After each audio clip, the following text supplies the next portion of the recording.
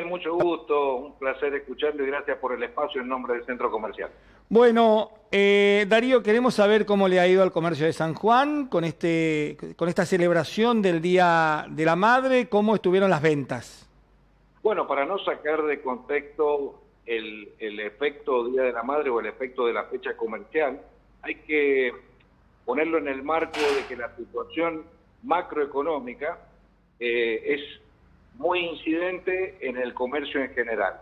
Y la situación que tú me estás preguntando, la microeconómica, lo que pasó en, el, en la venta minorista de la provincia, ha sido muy buena y cumpliendo con las expectativas.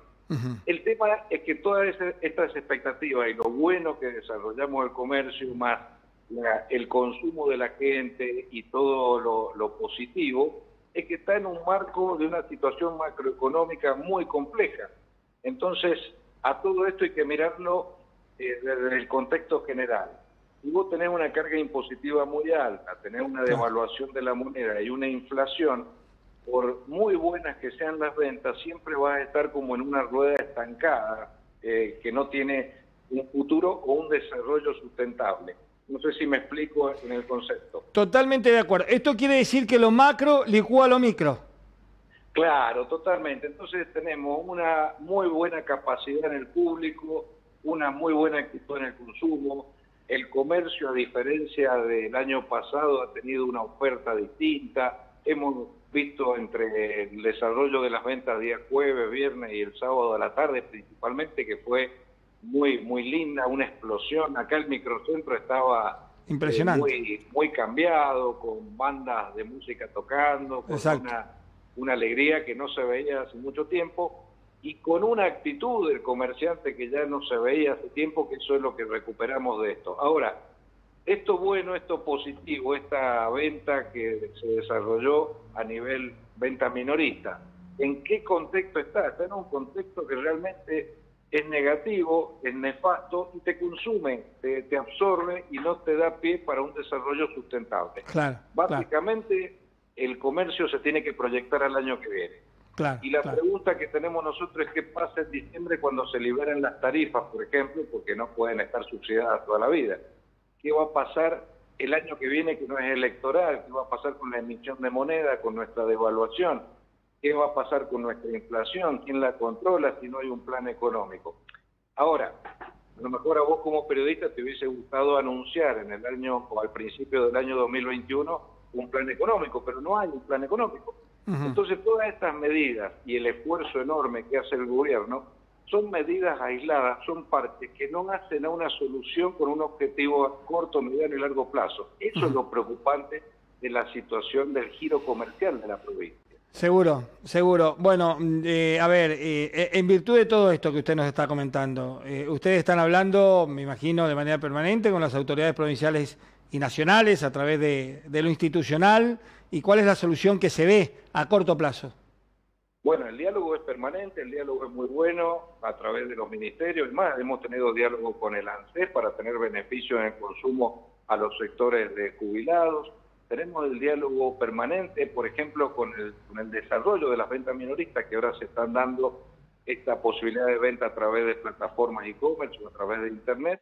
Pero bueno, no tenemos conectividad tampoco. Entonces, si nos tenemos que reinventar, nos tenemos que reinventar en conjunto el sector productivo, el, comercio y también el sector administrativo. Entonces, tampoco tenemos las garantías legales para ejercer el comercio electrónico.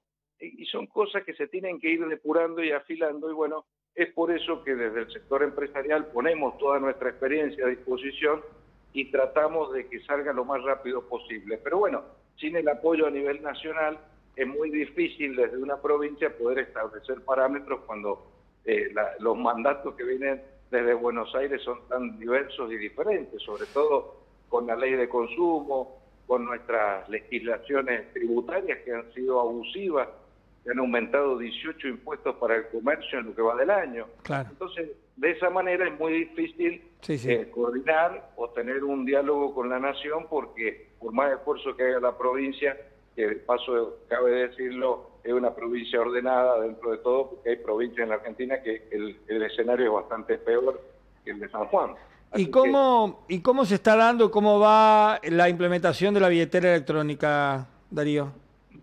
Bueno, la, billetera electrónica pasa por, por este punto principal que yo te acabo de mencionar. Ah. Al no haber un desarrollo de conectividad, al no haber una fiscalía del ciberdelito que dé las garantías legales para ejercer el comercio, a vos te pueden estafar y yo puedo ser estafado, entonces no tenemos a dónde recurrir.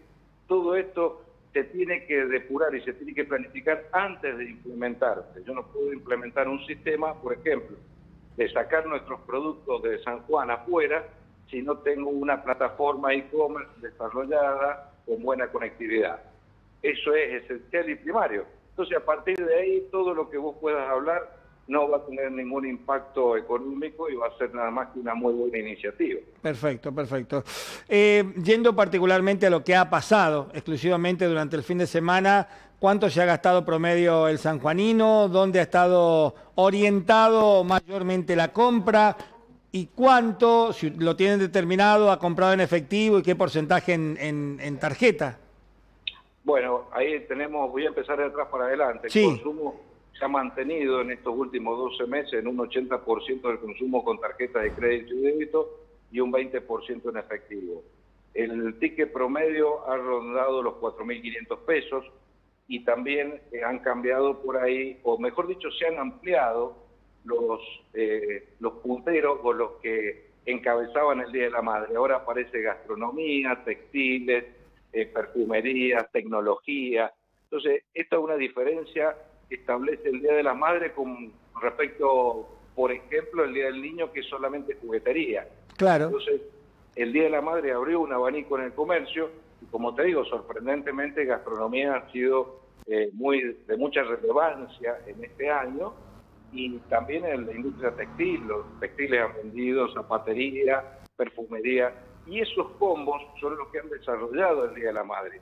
Pero entrando al análisis de la venta minorista, que dentro de un par de días vamos a tener el detalle con los porcentuales exactos para, para tener la, la información de lo que pasó en el comercio de San Juan, el dato es que la cantidad de tickets ha disminuido. Entonces, con relación al año 2019, un comerciante en el 2019, como por ejemplo, pudo haber vendido 100 tickets, este año vendió 80 tickets.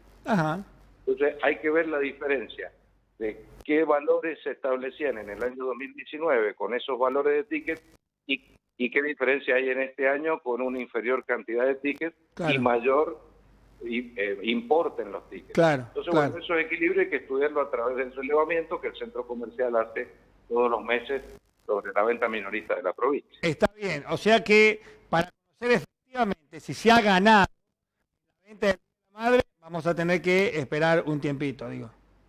No, por supuesto, esto va, a demorar, eh, todos lo sabemos, pero es muy bueno también eh, planificarse o por lo menos tener alguna idea qué rumbo vamos a tomar, porque hoy la falta de inversión también provoca una retracción en la economía y estos no son buenos pronósticos debido a que la, el campo financiero que tenemos no es propicio con inflación y devaluación.